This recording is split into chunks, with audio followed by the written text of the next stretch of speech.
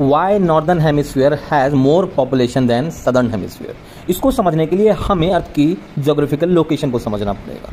देखिए, ये black line से इक्वेटर है, जो कि अर्थ को दो इक्वल पार्ट्स में डिवाइड करता है। ऊपर वाले को हम नॉर्दर्न हेमिसफेयर कहते हैं, नीचे को सदर्न हेमिसफेयर तो जब हम इसको गौर से देखेंगे, तब हम ये पाएँगे कि नॉर्दर्न हेमिसफियर में लैंड का जो हिस्सा है, वो सदर्न हेमिसफियर से ज़्यादा है।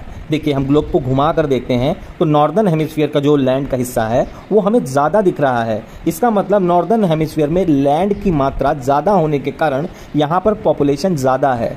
लैंड की मात्रा नॉर्दर्न हेमिसफियर में 68 परसेंट है, जबकि सदर्न हेमिसफियर में केवल 32 परसेंट है तो अराउंड दो गुना का डिफरेंस है लैंड के प्रपोर्शन में। इसलिए नॉर्दर्न हेमिसफियर में पॉपुलेशन भी हम ज़्यादा ऑब्ज़र्व करते हैं।